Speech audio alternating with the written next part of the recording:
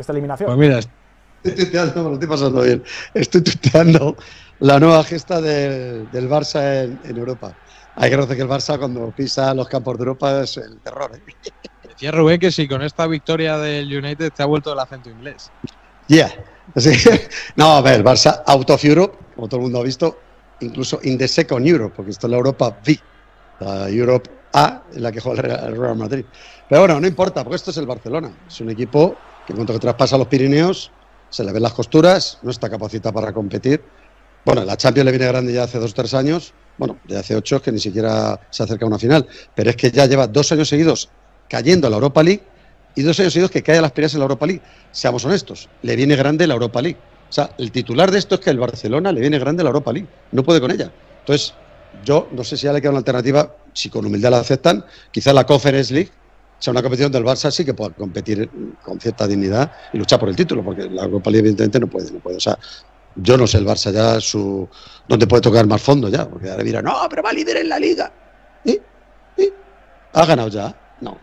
¿La va a ganar? No lo sé. Lo que sí sé es que en Europa este año quedó fuera dos veces, porque empezó en Champions eliminado en la fase de grupos y no ha sido capaz de llegar a los octavos de la prestigiosa Europa League.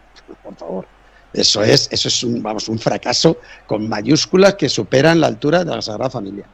Te preguntaba yo justo antes de entrar en directo en esta conexión, ¿cuánto le queda de rédito a Xavi? Porque ya son dos años eh, fracasando estrepitosamente en Europa. Este año, pues sí, tienes, ha ganado la, Supercopa. A ver qué pasa en la Copa del Rey contra el Madrid que es como le elimine el Madrid y le empiece a apretar en Liga, se le pueden ver las costuras. Xavi, ¿qué? Pues Xavi sabemos que está blindado. Oye, yo soy los que digo, Xavi, quédate.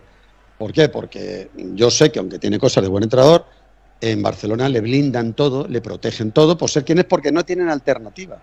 Es que si yo fuera la porta, no podría echar a Xavi, porque si le echas, ¿a quién pones? Ya quemaron el comodín de Kuman, el héroe de la primera Copa Europa.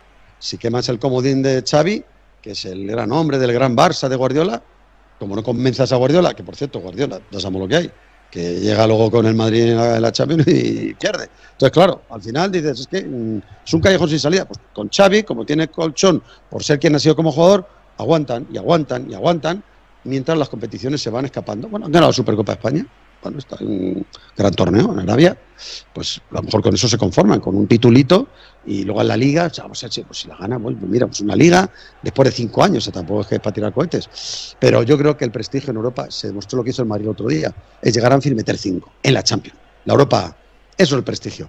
Pero que la Europa League, dos años seguidos, te pinte en la cara, porque le pintó la cara al Inter de Frankfurt y la ha pintado un Manchester United que sabemos todos que de hace años no es el Manchester de la época gloriosa, que ganaba Champions.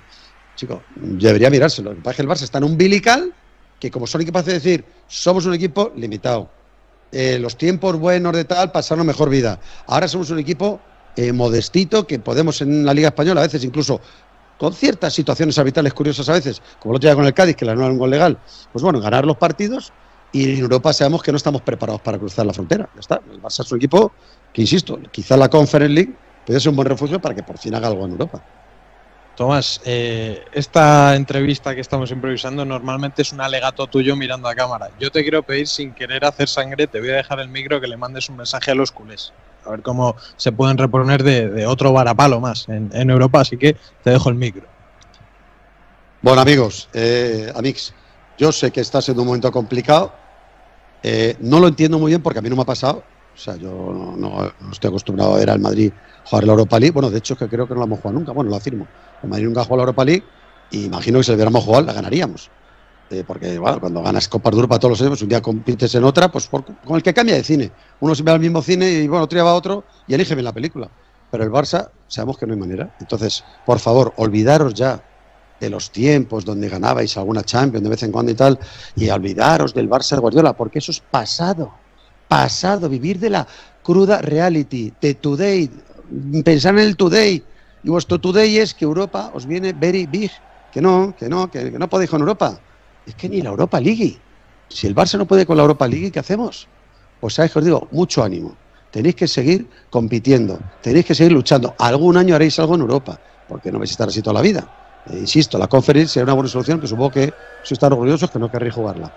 Y oye, ¿qué no pasa? Que os quiero competitivos, ¿eh? Para lo que queda de liga, quiero que compitáis bien en la Copa del Rey. Oye, si los tenéis que ganar, no ganéis, pero no os quiero con la cabeza agachada. Venga, venidos arriba, no pasa nada, ya sé que lleváis dos años, estéis muy acostumbrados a perder, pues lo normal, pero una Supercopa en Arabia de vez en cuando, oye, quieres que no, con esos unos cuantos garbanzos para el cocido para tener la tripa algo llena, para no pasar tanto hambre. No pasa nada, os vais a pasar el vídeo del otro día de Anfield. Sí, ese sitio donde metieron 4-0 hace nada, con vuestro Messi y Luis Suárez en el campo. Pues para que veáis cómo se puede jugar al fútbol. Entonces, cuando veáis la jugada del 5 con Messi volando que os diera 15 años, eh, pues os lo enseño. Porque además yo sé que os gusta el buen fútbol, el ADN, ese que siempre decía Xavi, jugar bien al fútbol. Tranquilos, cuando veis los tíos de las camisetas blancas, el pantalón blanco y la media blancas, ahí está el ADN del fútbol. oye, yo paso el vídeo gratis. Y así podéis decir, joder, cómo juega el Madrid en la Champions. Esa competición que, siempre ganan estos y nosotros aquí, la Europa League, que nos echan todos los años. no pasa, pasa nada. Venga, Barça. Mucho ánimo, aunque one year more out of Europe. Bye bye.